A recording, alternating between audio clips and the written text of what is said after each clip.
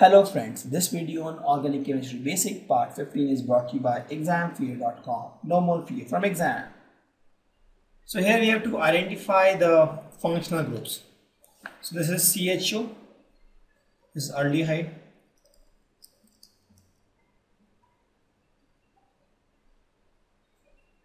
this is OH, this is hydroxy, this is OMe, ether.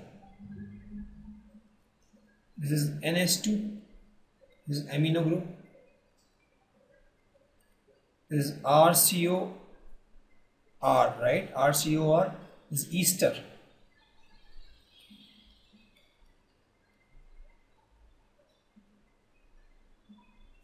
Correct. This is N C2H5 C2H5. This is amino. Right? NH2 or NC2H5 NC2H5 is amino group. And this one is double bond it is ethene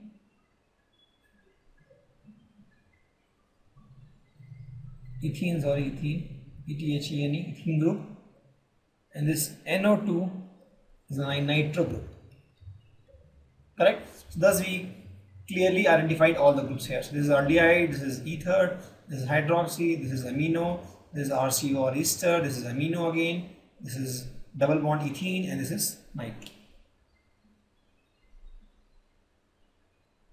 So here are some steps to write the structure of the compound whose name is given. We have already done this, but just will uh, revisit these uh, steps. The first is you have to just write the chain of the carbon with respect to the word group. For example, it's pent, so write the chain, carbon chain, straight chain. Word do number of the carbon from the end. You just number the carbon from one end. Find the multiple bond if there is any multiple bond attach the substituents and the functional groups. So whatever functional groups you have or the substituents you have, just attach to it. And that's all you have. And then once you have that, you attach suitable number of hydrogen to make sure that all the carbon satisfies tetravalence. And with that, you'll be able to get the compound whose name is given. So we have some example. Let's take this example. Write the structure of 2-chlorohexane. So let's do this. 2 chlorohexane. So hexane is 6, light 6 carbon 1, 2, 3, 4, 5, 6. Right? Number it 1, 2, 3, 4, 5, 6. At second position I have to give chloro. This is one And all hexanes, there is no double bond. Now just write hydrogen in all the carbons to make sure that it satisfies the double bond. So this has one bond, so you have to make it uh, like this. Right, this guy have to make like this, one hydrogen here because it has three bonds. Add one more hydrogen, four bonds, two bonds here, two more, four, two bonds here, two more, four, two bonds in this carbon, two more, four, only one bond here, so add three more hydrogen. This is the structure. Similarly, pent 4 into all. So pent, so write 5 carbon 1, 2, 3, 4, 5. Number it. So now we have this uh, 5 carbon. I have pent 4 in. That means at fourth position I have one double bond. This is a double bond.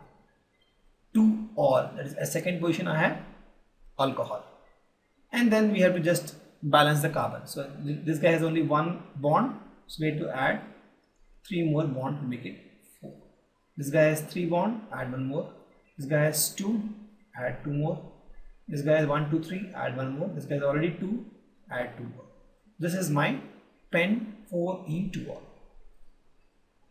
okay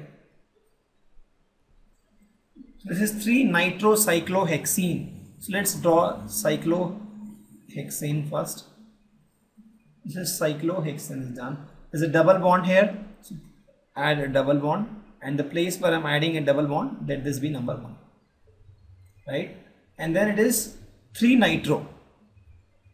So this is 2 this will be 3 so here you have to add a nitro group.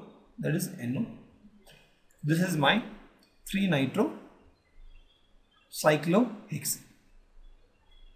Correct? So we know that double bond is given more important.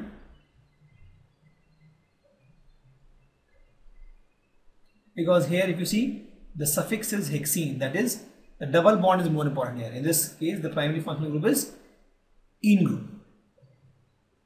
Correct? The next is cyclohex 2 in 1 all. So let's draw cyclohexane first. So here all is the primary group. So let me add some OH here and let that be number 1 this is 1 this is 2 this is 3 this is 4 this is 5 this is 6 at 2 position there is a ene so there is a ene here there is a double bond here. And that is my cyclohex 2 in 1 off correct?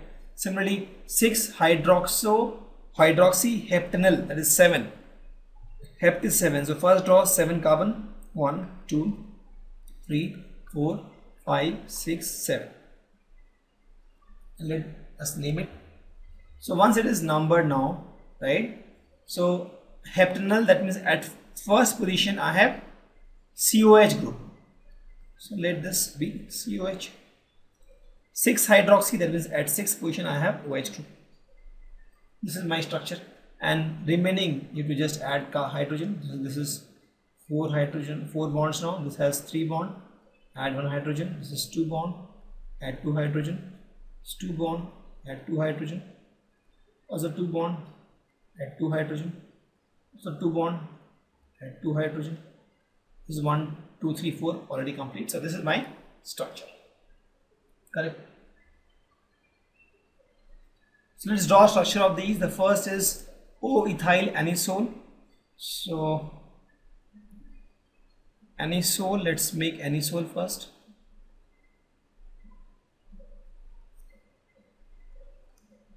And it says O ethyl right? So that means ethyl group is attached next to it. This is O ethyl anisole. The second is P nitro aniline so let's make nitric aniline first. P nitro that means the nitro is attached just end to this opposite to this. So it's P nitro aniline the second is 2 3 dibromo 1 phenyl pentane. So pentane is my primary one. So let's draw pentane. 1, 2, 3, 4, 5. This is my pentane. And these are my, let me number it. So let me now number it. 2, 3 dibromo. So at 2 and 3 there are 2 bromines. Right? So at 2 and 3 they are bromine and at 1 there is a phenyl. So let me add a phenyl here phenyl. There is a phenyl here at 1 this is done. 2 and 3 there is a bromine. There is a bromine here and there is a bromine here. So 2 3 dibromo phenyl pentane. This is my structure. The next is 4 ethyl 1 fluoro nitrobenzene. First draw a nitrobenzene. This is my nitrobenzene. This is my number one. Then you have two three four five and six. So it says 4 ethyl. That means at this I have a ethyl group.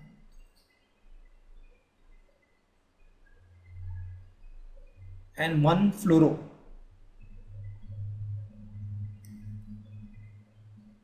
Nitrobenzene